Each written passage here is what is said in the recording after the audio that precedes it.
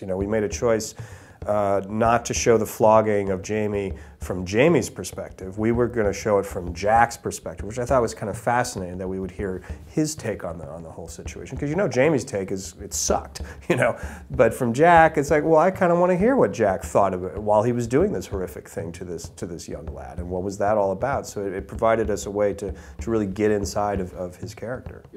I did. I had intended pace myself.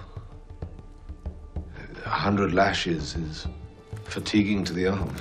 Jack Randall is um, obviously is a, a, villain of the piece. He's, um, I think it's an exploration. You know, it's a study in sadism.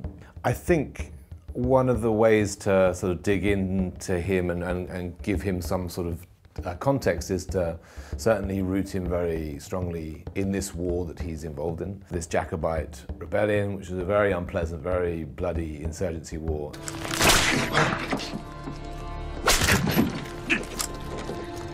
You're always saying, well, what's the truth of this scene? We're trying to make it as truthful as possible. Okay, some, some hor horrific things are about to happen and we're going to portray them.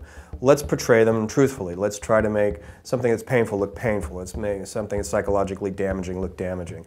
And let's not celebrate it in the sense of, you know, uh, it, it's not the style of a show that has the you know the slow mo spurt of blood, or you know it's not about the celebration of the violence or the celebration or, or the fetishistic sort of aspect of ooh this is going to be dirty and nasty. It's just okay. Let's let's show this about these men and about these characters in this place, in this time, in this context. Uh, the main challenge is you know you just hope you can sort of go there really uh, and sort of make it real. You know.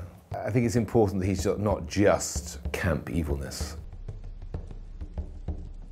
It's the most beautiful thing I've ever seen.